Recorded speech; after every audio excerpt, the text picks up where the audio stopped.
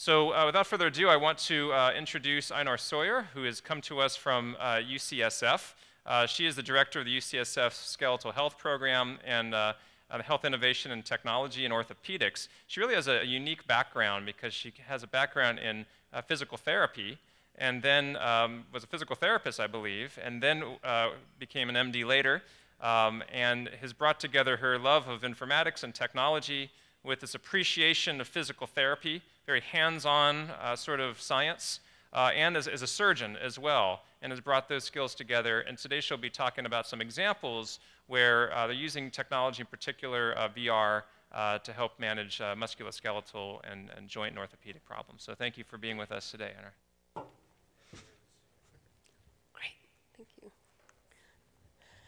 Well, thank you very much for this opportunity. And um, I feel funny speaking here because I feel like I've come to the mountain to learn, actually. So uh, it'll be an information exchange, I hope, and I hope there's something worthwhile for everybody in this. It's also a little bit like a 12 step meeting because I'm going to confess that we in the orthopedic world are part of the problem. And I'll talk to you about that because it's also a cry for help. We hopefully uh, you'll see that we are really, really open and hoping that you'll engage with us. This is what I mean by coming to the mountain. Most of the work that I'm aware of in the evidence-based side of this is happening at this institution with Brennan and also at Stanford Walter. So I'm really uh, feel humbled to be here. Um, I want to talk briefly and lay some groundwork around the opioid, pro, the opioid crisis and the role of orthopedic surgery in it.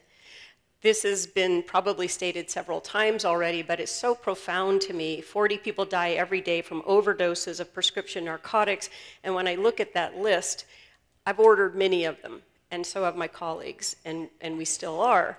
Uh, and we also know that most of these overdoses um, are, are coming because of prescription meds or at least started there.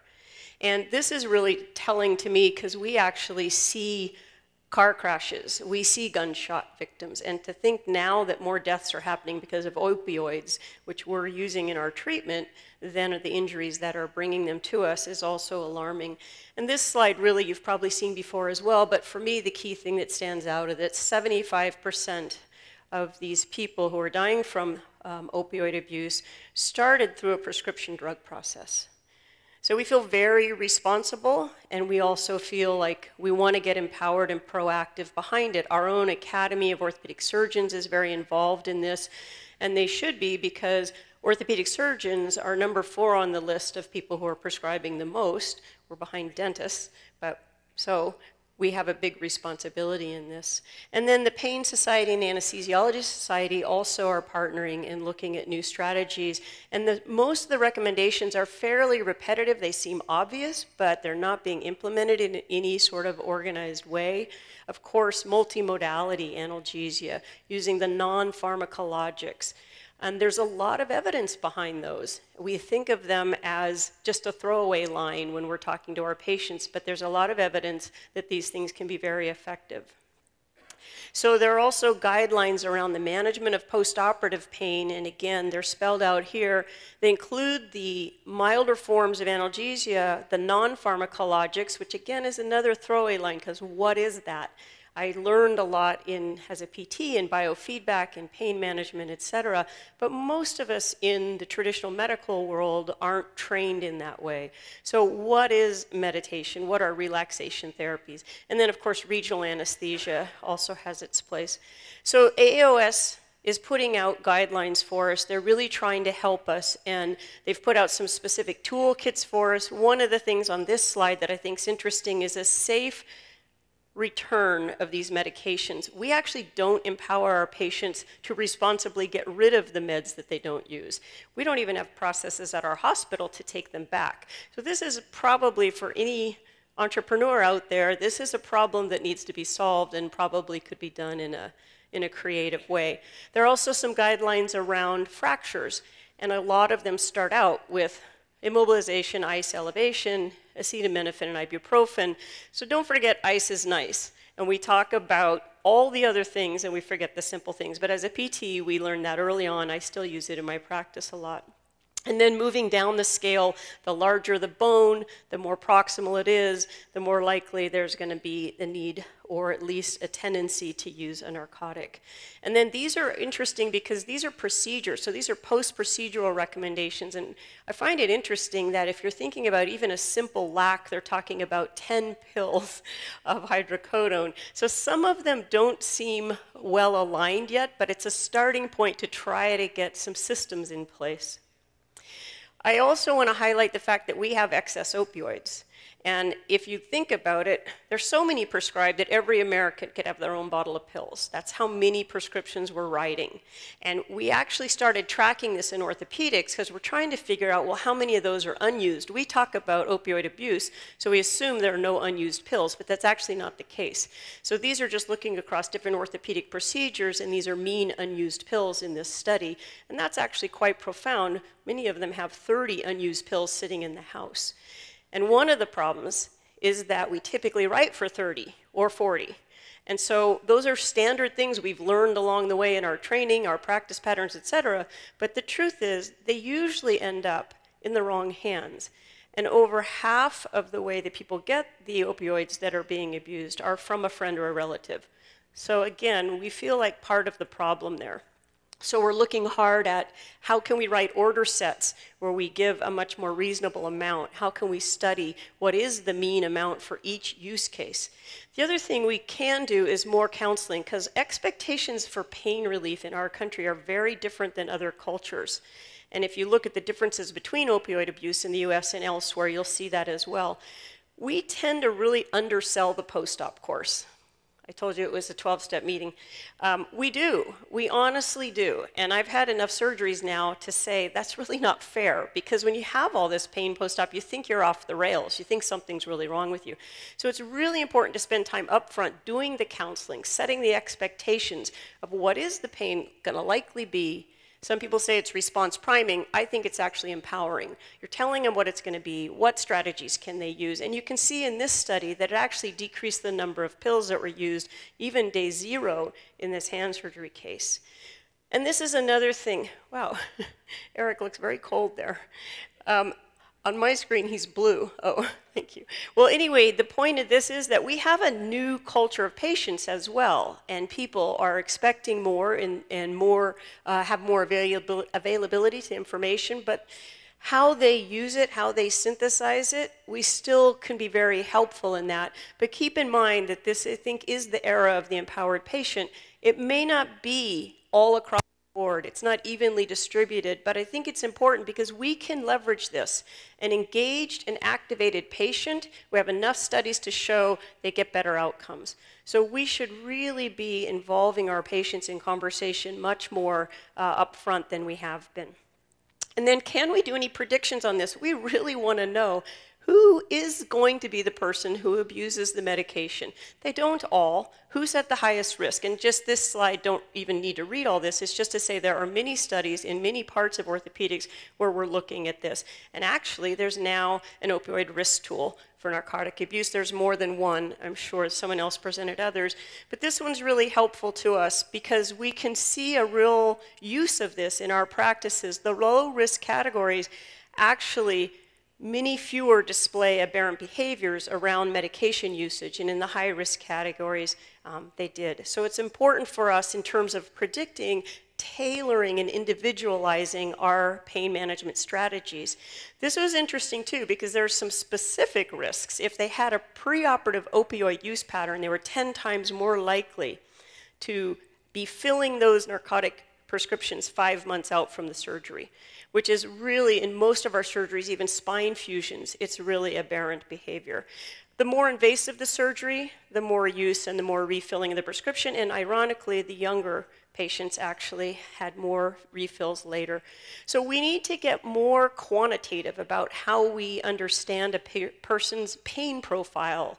And so this is just one tool. I think it's interesting, pain pressure pressure thresholds, and it actually correlates well with um, opioid consumption downstream, especially the lowest category. Those who tolerate the least amount of pressure and, toler- and feel it early on and state that are most likely to use opioids in an aberrant way.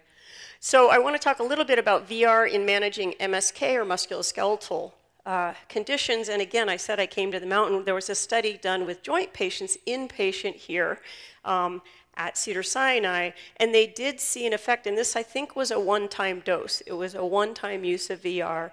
And they compared it uh, 2D high def nature video dosing, and they did see a difference between the two groups in terms of pain relief.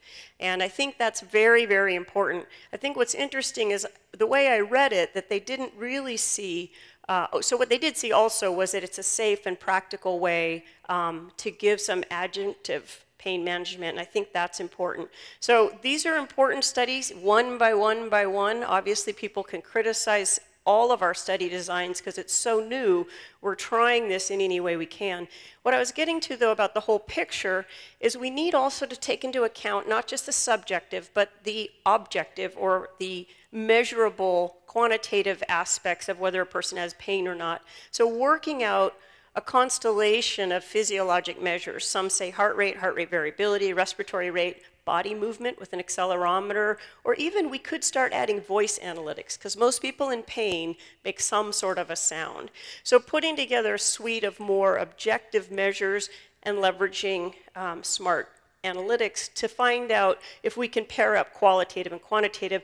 And so, in fact, um, this study that was that I referenced, they didn't see much difference in the physiologics, but I think it might have been small or we didn't there wasn't a big enough suite of them. But in the next study that they're doing, I was happy to see this. They're actually going to leverage several things in here VR smartwatch and TENS.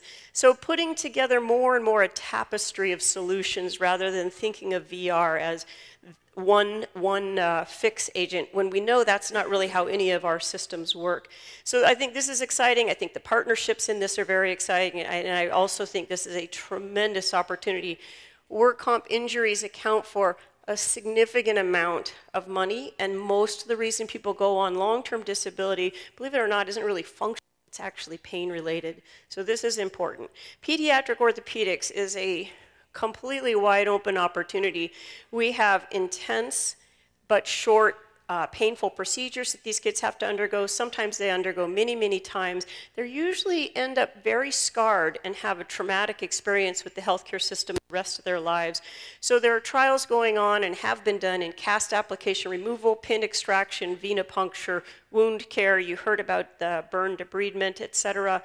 And I think it's important to think of all the goals around it. Minimize fear and pain, avoid the lasting medical trauma and avoid the risks of the known harmful effects on the very young neuroplastic window that we're talking about with kids who are developing. And it's not just uh, general anesthesia, but systemic medications as well. Also, there's an interesting study about phantom limb pain. I only bring this up, I think you're going to hear more about mirroring therapy tomorrow. So I'm only bringing this up to say that mirroring therapy is very powerful. I remember using it well in, with stroke patients.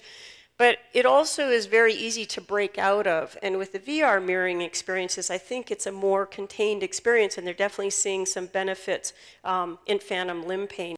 And sort of tricking the brain into thinking the limb is still there. So it's not getting confusing signals and making up its own signals and saying it's pain when it's not sensing anything. So looking at our own work at UCSF, and I will say it's it's uh, very nascent compared to what's been going on here, but that's why we all come together, and thank you for convening this. We're looking at it in some very general ways first. We're exploring mixed measurements of what we're referring to as PGD, PGHD. I say patient-generated data, but this came out of, I think, the ONC, patient-generated health data. I think we could throw the health out, because when you say patient, I think you've covered that. So I'm going to say PGD, but mixed measurements. Um, so we're getting qualitative and quantitative, looking at predictive measures and individualizing care plans and exploring inclusion and exclusion criteria. I think that's really important. There are some people who this either they won't be a responder, we need to understand those people, or they actually can't tolerate it. So that's a very important piece of this. And then we're looking at alternative interactive capabilities. The active interactive um, exposures seem to have more benefit than the passive, but if you're on the operating room table, you really don't want people flailing their arms. So how are they active? So there's a new company, Fove, not so new, but they've just put out another version where they're using eye movements to actually do the interactive. So that means you could also survey patients in there and ask them to ask interask questions. You could create information coming back to you. Once you figure out more creative ways to get interactivity, and for us, we really want to do that. A lot of our patients also have limited abilities. So we're very, very interested at UCSF in pediatrics, of course, and you know this is our big interactive media wall in every room now, but we're also then putting this in mixed media and working with some VR capabilities with children. One of them is with the sickle cell patients who come in in sickle cell crisis, extremely painful, and believe it or not, a lot of the HEMONC patients actually have um, severe joint disability and bone pain, so we do get involved in these cases. And what I'm really interested in now is um, Duke is going to leverage some of the early work and do an RCT in a bigger scale on this in the sickle cell and also cancer patients. So our big vision, because as I said, we try to think how is this going to fit into the entire fabric or tapestry of pain management and improving patient function. So I look at a continuum a continuum of care or the patient journey and pick spine patients, for instance, starting from evaluation through prehab, through pre-op, operative recovery room, acute stay, and then post-discharge, and then long-term optimization of function. And I see at every one of those sections a window of opportunity for VR to play a role in the context of the entire treatment plan. So very quickly, we'll talk a little bit about, I think the VR education opportunities for patients are extraordinary. There's a way that they can understand when they see things in 3D that oftentimes they can't when I'm drawing on the paper on my treatment table uh, or even in the iPad PowerPoints that I usually use in my office. So I think there's some great opportunities to truly get information across, and we could even tailor those and individualize those to patients. Setting expectations, many of these things can be done in the VR medium, and then teaching to manage symptoms and empowering them. Exercise programs, we're working very hard in the pre-op optimization of our patients.